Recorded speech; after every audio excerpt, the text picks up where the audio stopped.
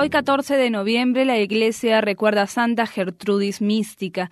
Gertrudis es una palabra que en su idioma significa fiel defensora. Santa Gertrudis es la patrona de las personas místicas porque ella fue la primera gran mística de quien se tenga historia.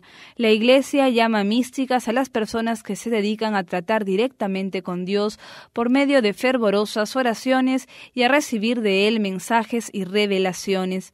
Fue la primera en propagar la devoción al Sagrado Corazón y el culto a San José. Los demás santos que después propagaron estas devociones se basaron en revelaciones recibidas por esta gran mística. Nació en Eisleben, Alemania, y hasta los 25 eh, años fue una monja como las demás dedicada a la oración, a los trabajos manuales y a la meditación. Sentía una inclinación sumamente grande por los estudios. Fue a esta edad que recibió la primera revelación, la cual transformaría su vida para siempre.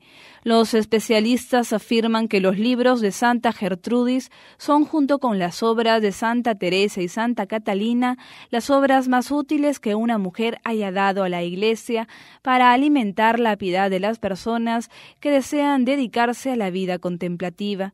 Es una de las patronas de los escritores católicos. Murió el 17 de noviembre del año 1302.